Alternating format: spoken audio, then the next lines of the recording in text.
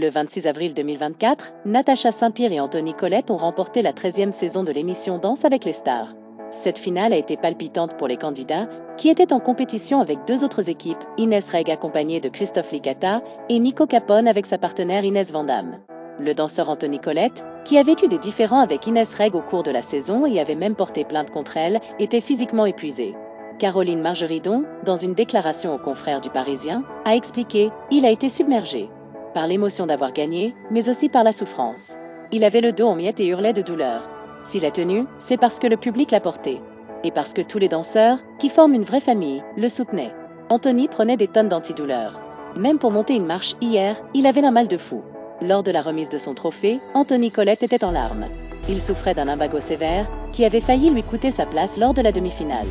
Dans un live Twitch, il avait confié J'ai vraiment mal. Je serre les dents. Je boite un peu la journée parce que j'essaie de ne pas forcer, et le soir quand je danse, j'ai de l'adrénaline dans le corps, j'y pense plus.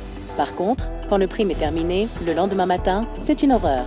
Vous ne savez pas à quel point j'ai mal. Malgré les conseils de son médecin de ne pas poursuivre l'aventure, le danseur de 29 ans a refusé d'abandonner. J'ai dit, ce n'est pas possible, je ne veux pas. Du coup, je prends beaucoup de cachets, j'essaie de faire des étirements. Mais bon, je ne le fais pas très sérieusement, avait-il révélé à ses abonnés.